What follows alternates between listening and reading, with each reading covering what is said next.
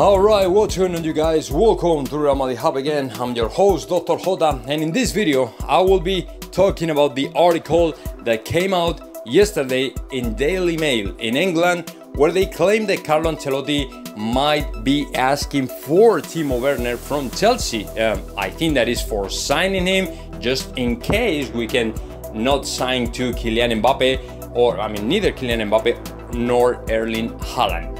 Okay, let me tell you something.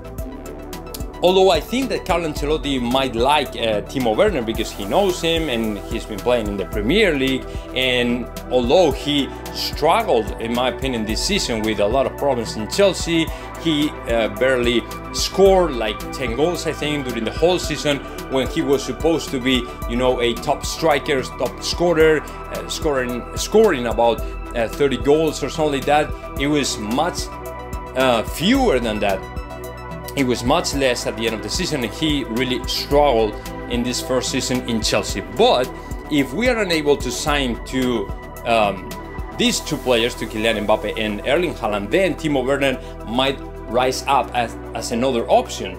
So, um, although I think that Carlo Ancelotti likes uh, Timo Werner, in my opinion, Real Madrid is not willing to sign Timo Werner for any simple reason. For Real Madrid, there's only two priorities. Number one, Kylian Mbappe. Number two, Erling Haaland. And if, if, and that is a big if, if we fail with both of them, then we have a bunch of much more better players with better stats, better numbers than Timo Werner out there. I mean, I'm talking about Andre Silva, I'm talking about Lautaro Martinez, I'm talking about Vlahovic from Fiorentina.